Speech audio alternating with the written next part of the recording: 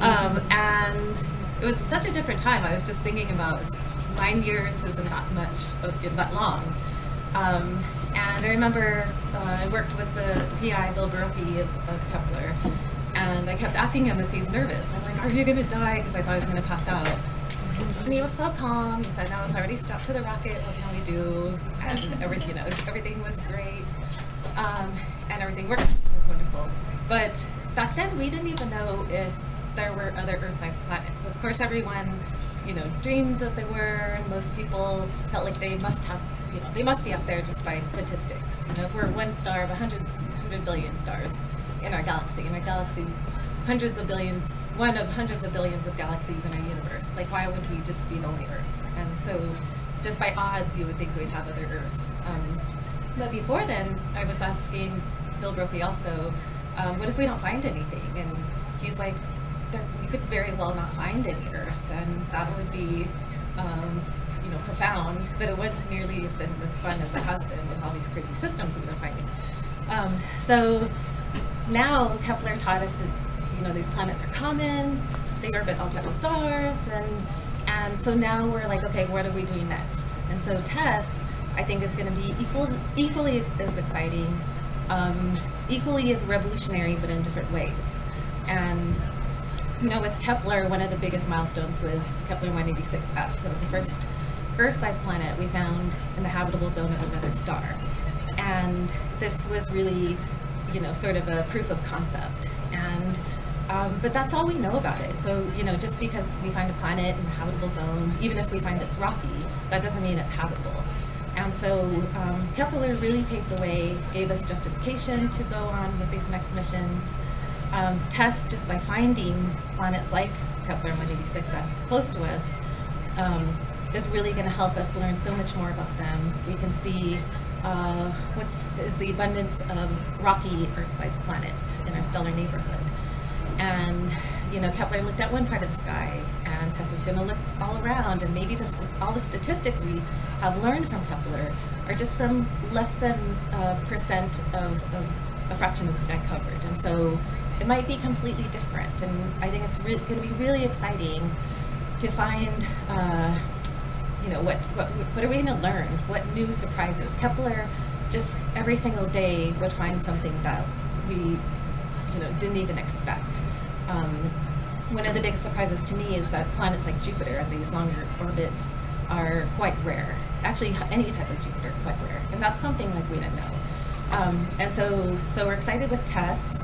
Um, the other thing I'm excited that I think is really cool is that all of these planets TESS is going to find, you know, it's going to catalog the whole stellar neighborhood.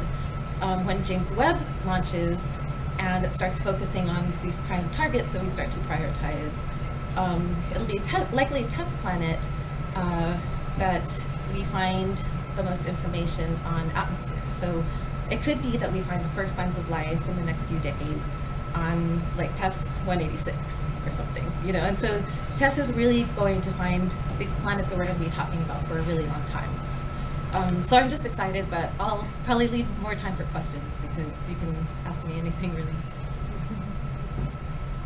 And I know I talked to a lot of you few days ago. yes. So I know the next satellite will be James Webb. Mm -hmm. We thought about orbiting a satellite at the furthest part of the galaxy, of the, the system uh, to scan further to other planets and then even back to Earth? You mean go beyond James Webb's yeah. orbit? Yeah. yeah, go beyond our orbit, orbit some other planet further into our system. So James Webb is going to be in the L2 point, so it's um, so uh, Kepler, both Kepler and TESS orbited the Earth. Um, it's going to be a long time until we can actually go orbit another planet, um, just because the nearest star system is Proxima Cen, and it's still four four and a half light years or so away. Um, and so even this, you know, there's this uh, institution called the Breakthrough Listen that's trying to send a probe to Alpha Cen. So even with billionaires spending money trying to get, you know, cell phone or whatever, I don't know what they're doing, um, they're still like really pushing the technology just to be able to do simple things like that. So it's going to be a long time that where we can actually go further you know, to look where we can, you know, even take photographs or something. but James Webb is going to be in a really far orbit, so it's going to be and what in what we call Lagrangian points, which are uh, sort of the center of balance between the Earth and the Moon and the Sun. There's some certain regions, um, so it'll be really far out. Um, but yeah, I hope that answers your question. Uh, anything else? Are you guys anxious to go to the, watch the launch? I do. Yeah, so if we are collecting data from TESS and we find that there are rocky planets, but we don't know if there are atmospheres around them, how are we going to prioritize targets for James Webb? So there are a lot of scientists that have been studying theoretically um, planets and planetary atmospheres and have uh, different types of models in. Um, so if we have a mass and a if we have mass and a size and we have a density, and that's just like the most basic physics question. So if you have a density, you have a composition. So what Adina is talking about is there could be degeneracies. So if you have, say, an Earth-sized planet like Kepler 186f, if we have a size, um, let's say we only know the size, it could be anything from a pure ice ball to a pure iron ball. But if we have the mass, then we can say, oh, okay, it's somewhere, maybe it's rocky. Um, if we, for larger planets, um, there might be some degeneracies on how thick of an atmosphere it could have, or maybe some of that mass is more in, in like water, steam clouds, or something.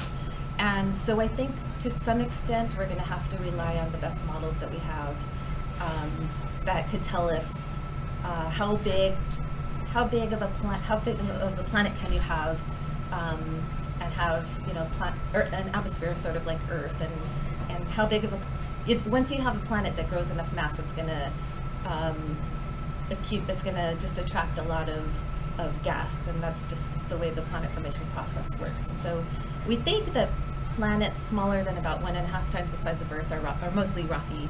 Uh, we think planets greater than that probably have too much mass that they will accumulate an envelope and be more like Neptune instead of Earth. So there's a really fuzzy region. We don't know exactly what. But there's some ideas that maybe twice the size of Earth might be the biggest uh, rocky planet you can have without having an atmosphere. Um, but even with all the discoveries we have, there's always these like weirdo planets. Like we'll find a like a small puffy planet or a gigantic mega Earth. There's a mega Earth that was two or three radii. And so just when scientists think they kind of understand the relationship between size and mass and composition, we'll find all these oddballs. So that's what TESS's going to do. It's going to find so many, it's going to find thousands of planets where we'll get composition measurements or uh, density measurements. And at least we can look for trends and maybe start to think about what types of planets probably have an atmosphere that's, you know, more like Earth's that we could start to prioritize things. So it's going to be like an art. um, I'm not sure Okay, one last question. Is, uh, is TESS specifically looking for planets that are in the habitable zone or planets outside of that still? I mean, I'm sure it could be discovered, but will they be focused on for like the James Webb Space Telescope or things like that? Or are we just looking at planets in the habitable zone? Uh, so that's not the primary focus. So for TESS to be successful by definition is TESS will need to find at least 50 planets smaller than Neptune that can have their masses measured. And so TESS needs to find planets nearby um, where all of the astronomers here on Earth and even some space-based instruments, which Diana can talk about, uh, can give us mass measurements. Um, we will be sensitive to some planets in the habitable zones, um, but they're likely to be maybe super Earth-sized orbiting cool stars. Um, just the way that it's designed, the observation strategy is designed. So TESS isn't meant to be like the next Kepler, and you know Kepler but better. TESS is, is going, it's building on Kepler. Kepler taught us planet, planets are common, but now we want to find them nearby us so we can see if we can find any in the habitable zone that have like nice atmospheres. And so, really, in my opinion, it has two. It's going to be revolutionary in, in two ways. One, it's going to find a small population of planets that uh, James Webb can study, and you know, James Webb can study their atmospheres. They don't have to be habitable. Um, we'll still learn a lot, but of course, we're looking, you know, for for one like Earth, um, and also what I just talked about with Medina about this population that we're going to have hundreds and hundreds of planets where we'll have compositions, and that's something that Kepler didn't give us. Kepler gave us thousands of planets, and we have the sizes. So we're going to learn a lot in planetary science, and also in this, you know, step quest for finding another Earth. Thank you Thank so you. much for coming.